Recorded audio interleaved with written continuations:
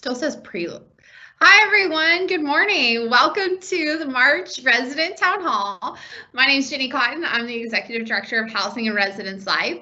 Um, we have a couple of folks here with us today uh, to give you guys some updates for um, things that we have going on this month, and we also have a special guest. So we can hop to the next slide. I'll give you a quick overview um, for today, we have some facilities updates. We have some housing application updates, specifically as it relates to summer and fall housing applications. Um, we also have some exciting maintenance updates for you all. Um, and then Dr. Gibson's going to talk a little bit about what we have going on in residence life um, and what you can expect for the well-being days. Um, hopefully you got to participate in that last Tuesday, but we, if you didn't, or you did and you enjoyed it, we do have another one upcoming next week. So we'll give you the details on that. And then we have a special guest today joining us from sustainability um, to talk about some of our sustainability issues. So Maida's going to be joining us to um, give you guys uh, just a preview of some of the exciting projects that we're working on. So that's really what we're going to focus on today. Um, if you have specific questions or concerns, we are going to be launching office hours today, uh, starting at 4.30. So I'll be on from 4.30 to 5.30, and I actually will put the link for that in the chat so that you all can link to that today um, if you want to. But I'll be there for the entire hour. So if you want to pop in at any point in between that time, if you have a specific question or concern, I will be there to answer those um, because we recognize that the town hall doesn't always lend itself to diving into specifics so we want to make sure that we have the opportunity to address um, any specific concerns that you have. And then um, just go ahead and save the date. Our last town hall will be April 15th, 11 o'clock to noon. Um, that link will come on our website as soon as it's available which is gatech.edu, uh, and then you go to the housing page for that, and it'll be on our front page. But um, that will be our last town hall for the semester. We'll be focusing on move out information for that town hall. Um, and then we will be reassessing if we continue these or space out the frequency for the upcoming academic year. But want to make sure that you guys have that so you can mark it on your calendars. So with that being said, I'm going to go ahead and hand it over to Jennifer Grover, who's our Assistant Director for Housing Assignments, so she can talk to you guys a little bit about the housing application and timeline. Jennifer? Thank you. So for phase one students, we have self-assigned going on from the 19th through April 4th. Phase two, we have students um, who apply by the deadline of March 29th. We'll have the roommate search going on from March 30th to April 13th. We'll have the uh, LLC students assigning on April 14th. We'll have self-assigned for everyone else on April 15th through the 29th. Then the application will close on the uh, 29th.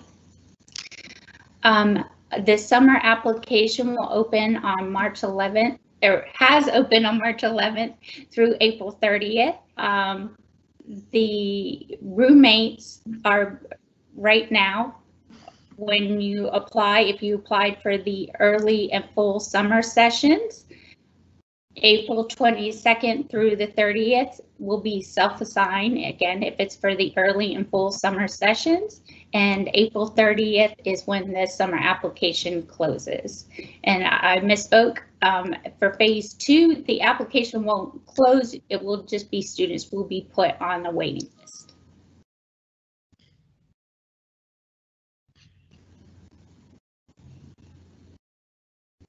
And spring move out and summer housing. Um, summer housing application is now open through April 30th via My Housing. You must be enrolled in summer classes. Um, transition day will look different. Details will be sent sent out for those who apply in April. The spring move out. Um, residents should plan to move out 24 hours after their last final. East Campus, you definitely need to be mindful because we do have convocation on the 7th of May. That's on a Friday. And uh, details and instructions, again, will be sent out in April.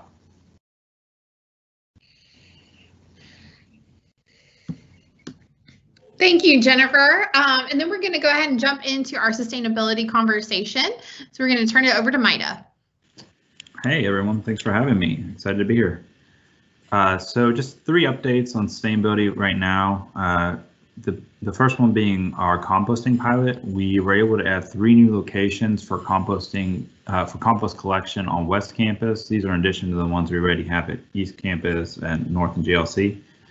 Uh, those are Woodruff, Sixth Street Apartments and Hemphill Apartments. Um, there's a couple things that allowed us to add those. We're still waiting for a couple more pieces to fall in line before we can do a more robust rollout of composting services, but these should allow most residents on West Campus to access a um, resident uh, a compost bin with uh, just a short distance from them. Um, so I'm, feel free to reach out to me if you have any questions on that, or what is compostable, or, or how to get involved. But those are now available to uh, our West Campus residents. Uh, in relation to Earth Day, uh, there will be a clothing swap at Earth Day that you're all invited to participate in. Um, and there will be an opportunity for our residents to contribute to those to that swap by donating their clothing um, at any of the housing offices uh, the week of March 29th. So uh, either way, you know, check out everything that's going on Earth Day uh, at, at, the Earth Day website, but you can definitely um, participate if you want to get rid of some of those clothes prior to move out that you're ready to get rid of. Uh, there'll be some collection bins for you there. Uh, and then the uh, last update is related to move out, and we'll have a lot more information on this in our next town hall. Um, but just letting everyone know now, we will be planning to do another drive to make sure that you have an opportunity to donate all your items that you don't want to take home with you. So particularly clothing, uh, non-perishable food, household goods. We'll have collection locations around campus for those. Um, and uh, details on what we can accept and, and kind of what we're going to do with it. So be on the lookout for more information uh, related to that and exactly where and what you can donate. Thank you. Awesome. Thank you, Maida. Um, and then Chris Taylor, would you like to share some exciting updates for facilities? Yes, I would. I'm so excited about this. Uh, we have our evening shift has actually started work. Some of you may have, have already run into them. You may have called them into your apartments or into your rooms to help you out with some things that you have. But we have our evening shift in place. Uh, we do have a foreperson and three technicians that work for us now on evening shift. Um, the purpose of that was to minimize response times for emergency situations. And uh, so far, they've, they've proven themselves as, as invaluable in that. Uh, they work from 3.30 uh, p.m. to midnight, uh, seven days a week. So we do have at least one person here from 3:30 to midnight on Saturday and Sunday as well. Uh, the foreperson for that shift uh, actually monitors the incoming work request and will respond as needed. So if, if you turn in a work request on uh, Saturday at four o'clock, uh, you very well may see somebody pop up at your apartment there to, to, to fix your issues. Great, thank you so much. Um, and then I think the the last little bit of information we have relates to wellness updates um, and or well wellness days and a few residents life updates. So Dr. Gibson. Great, thank you so much. Hi everyone, this is Sheree Gibson, Director of Residence Life. Uh, again, thank you so much for joining us uh, this morning. I hope your semester is going well and um, we know that this is typically a pretty uh, hectic time for a Georgia Tech student. And so I wanted to share with you and also remind you of some of the opportunities to just take a break. So if you, hopefully this week you participated in uh, the wellness days. We had a variety of activities on campus for you. Uh, some of those were sponsored by uh, housing and health initiatives and some other other uh, departments on campus. If you aren't aware, there's still an opportunity to participate in these activities. We have the Relax, Recharge, Reboot, Reboot um, events that are happening on those days listed above. Some of those days have passed. However, uh, you can uh, go and, and participate on the 23rd and the 24th. Additionally, Sting Break was scheduled for the 16th, but it actually is also moved to the 24th. Uh, that is uh, because it rained on the 16th, they did move it. So be on the lookout for that information. Definitely sign up. It's from 6 until I believe about 10 o'clock. Uh, there's a mythical fairy tale theme They're going to be all over in different places on campus, and uh, you'll be able to have a lot of a lot of fun. So please, please sign up for that. Uh, and then also uh, in housing and Res Life, we will be uh, sponsoring the North Ave Block Party, which will happen on April 9th from 2 to 4. So if you live in North Ave, um, please uh, be on the lookout for more information information about that event. Also know that uh, we all recognize again that this is a tough part of the semester. So if you are in need of support or help or need to talk to someone, please reach out to your RA or to your hall director. Uh, they are here to support you as you navigate through uh, Georgia Tech.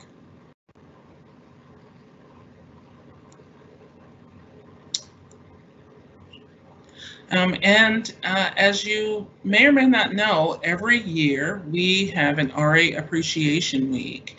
Um, and it is usually sponsored by our Res Life reps who are uh, current RAs who have uh, decided to participate in leader, another leadership role within housing. So we're very grateful for their leadership.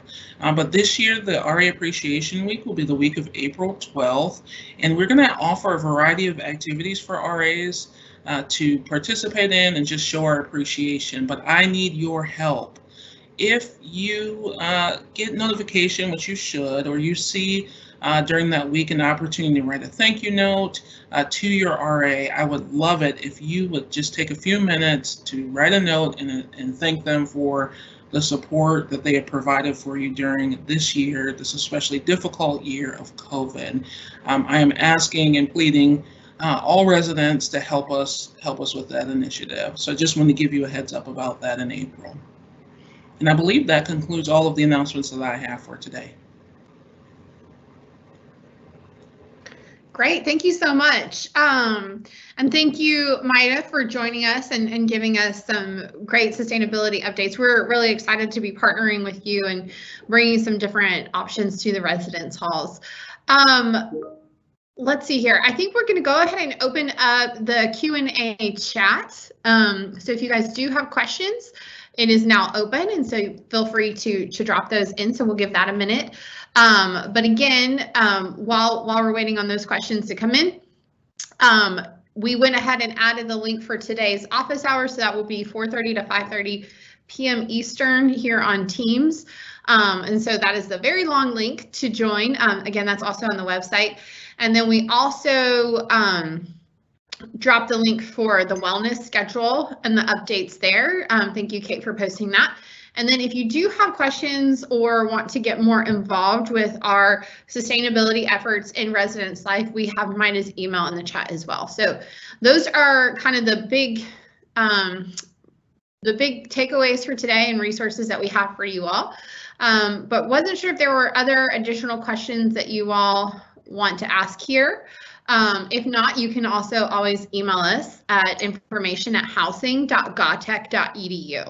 Um, and we do have a team responding to those emails. If your situation is more specific in nature, we can look into your count um, and give you specific answers to your specific questions. So I think we'll get a few more minutes to see if there's any questions. Um, but uh, otherwise, I'll go ahead and open it up to the group to see if there's anything else that you all want to add while we're waiting on those questions to come in.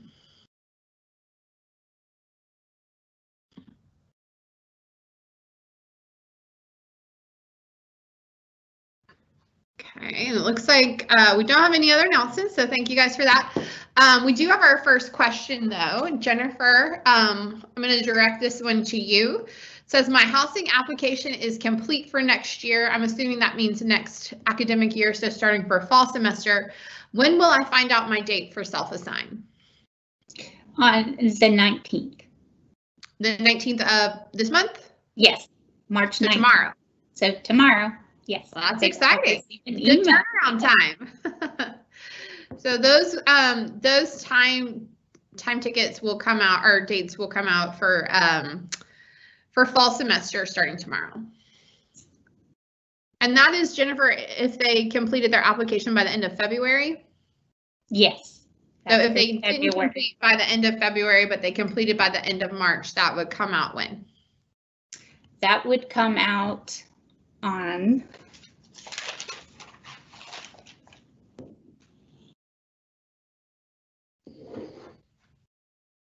April 14th if they, if they were in phase two.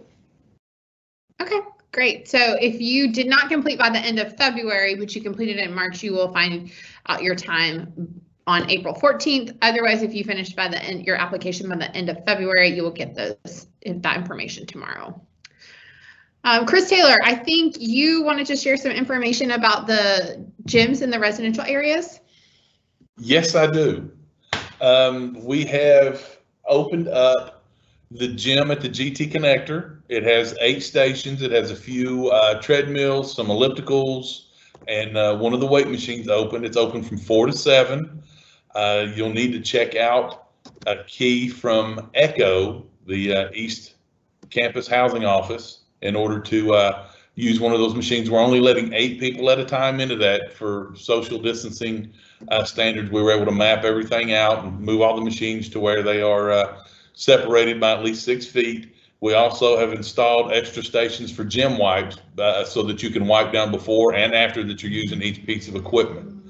Uh, we are looking at other gyms and the other residence halls, other workout areas in the, in the other residence halls to see if, if this is going to move out and, and we can open up other ones as, as we're able to. Okay, great. Thank you for that. It's a helpful update. Uh, let's see. It says, so Jennifer, I think we have one more question for you. It says, where exactly do I go to see what rooms are still available after self-assign begins? It will be the available rooms list that they will get a link in their email and then they will go to that link at that time. If they were to go to that link right now, they will not see the appropriate rooms. So right now, the rooms that are showing are for the certain students that are signing right now. So right now we have the LLCs assigning. The only rooms showing are for the LLCs. So we're getting some phone calls that are saying, hey, there aren't enough rooms showing, but the rooms that are showing are only for the LLCs currently. We do not have all the rooms showing yet, so it will be what is available to you that's appropriate for you when you go to self-assign. So if you go on that night to go see what's available, you will see what we still have at that time. Great. Thank you for that, Jennifer. Um, let's see, we have another question that's come in. It says, I'm an incoming freshman going into the Ignite program. I wanted to ask about Ignite housing. First, I put a deposit in and wanted to know if this would guarantee housing for Ignite. Also, the transition from summer housing to fall housing seems to have a two week gap. Can I move from my summer housing to my fall housing right away? Jennifer, do you want to address the deposit and how that works for um, the summer versus fall?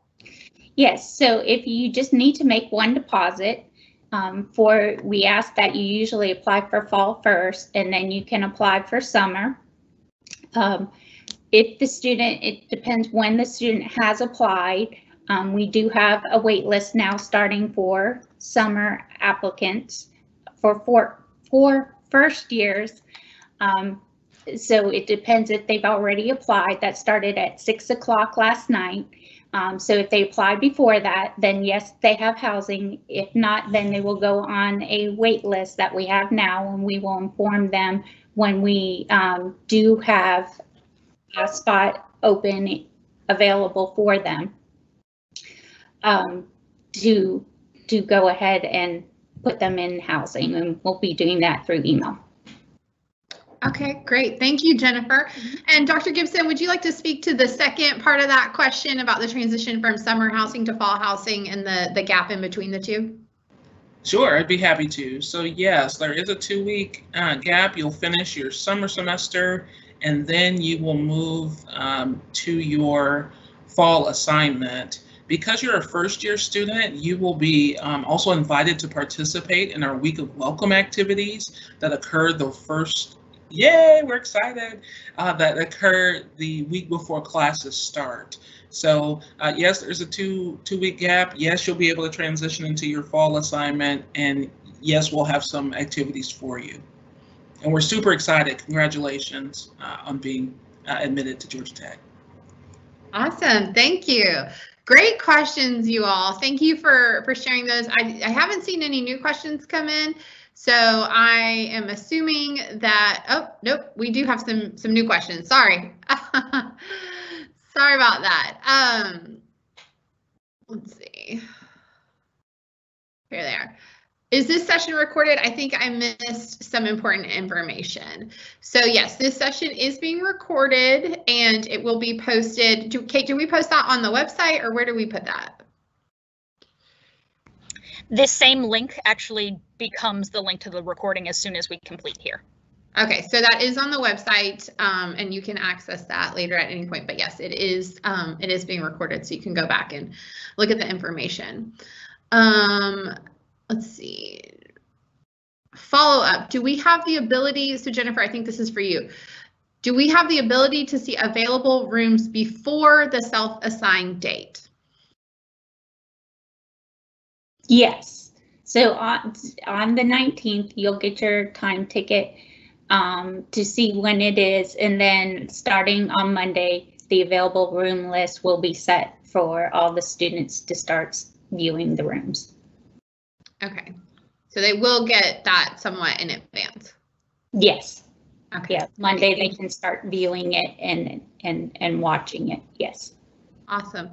And Dr. Gibson, I'm going to um, direct this question to you. It says, how should marijuana smell in a dorm stairwell be reported or handled? Do we tell the RA or call GT police?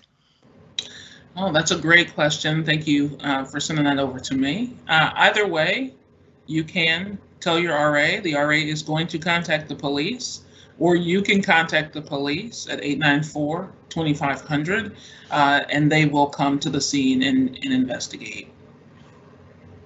Great, thank you. Okay, I do think this is all of our questions at this point. There are no other questions, so I think this is a good time to wrap up. Thank you all for making time to be with us um, here with us this morning. If you did miss anything, it was recorded. Um, and so again, you can just use that link that is on the website to access the information later on. But um, thank you for joining. If you have other questions or, or more specific um, things that you want to get into, you can always email us at information at housing.gatech.edu. Uh, but you can also join today at 4.30 for office hours. So that link was in the chat um, a little bit earlier. So hopefully uh, we'll we'll see you guys there. And if not, um, hopefully we'll see you at our wellness day next week because there's lots of exciting things um, planned and we all need that break. So hopefully you'll join us and take advantage of that. Thank you guys and y'all have a great day.